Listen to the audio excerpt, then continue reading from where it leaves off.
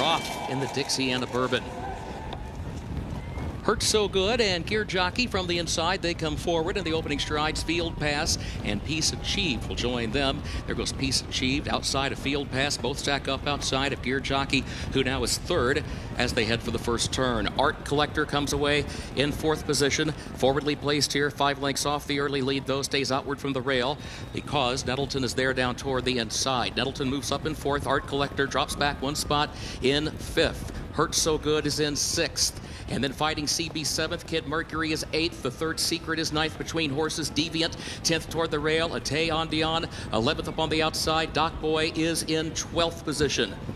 Prince of Thieves is traveling along next to last, and Vitalogy last of the 14, 47.6. The time for the opening half mile. Back up front. Peace achieved ahead in front. Field pass fights back down to the inside. That's the battle for the lead. A gap of two and a half more lengths then to Gear Jockey, who's a lane off the rail in third. Nettleton fourth toward the inside. Art Collector is in fifth. The third secret is sixth. Kid Mercury a wide seventh around the far turn.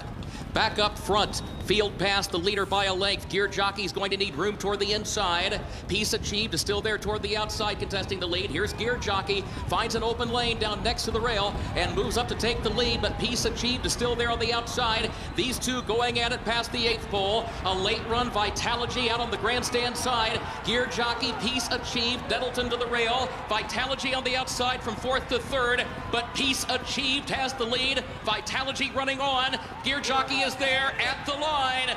Peace achieved hangs on by a diminishing neck for Miguel Mena in the Dixiana Bourbon. And has just seen his horse win a graded stakes here at Keeneland. How does that feel? Oh, it feels fantastic. It feels fabulous, you know. I mean, it's just, it's great to win at home, but it's great to win anywhere. So, yeah, I am ex- obviously very excited, extremely excited. And your partnership with Mark Casse, I know that means an awful lot to you. Just tell me why. Well, Mark and, and, and a lot of people in this, this business are, they're just good people. And, and you want to win with good people. And Mark and, and David and the rest of this whole team are, are real good people. But I'm, I'm blessed to have a lot of good people around me. Well, congratulations. You got a good horse as well, Joe. I think he's a good horse. I really do think he's a good horse. Tell Karen Dunn hi, too. We just did. Yeah. We just did, Donna.